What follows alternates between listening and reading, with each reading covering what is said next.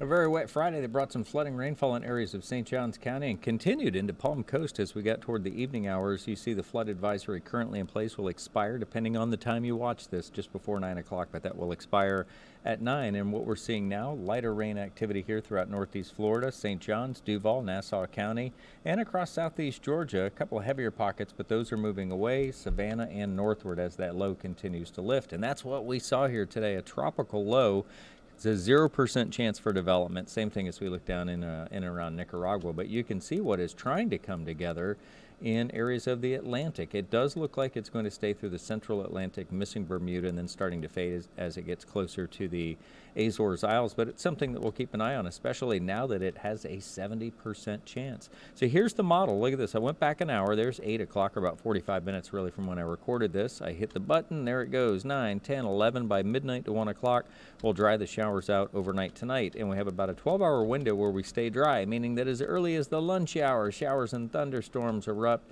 and those will move out of southeast Georgia and approach northeast Florida throughout the half of the latter afternoon, early evening. You have some outside plans. Make sure you have our Weather Authority app to keep you ahead of that 60% that we're going to see for Saturday.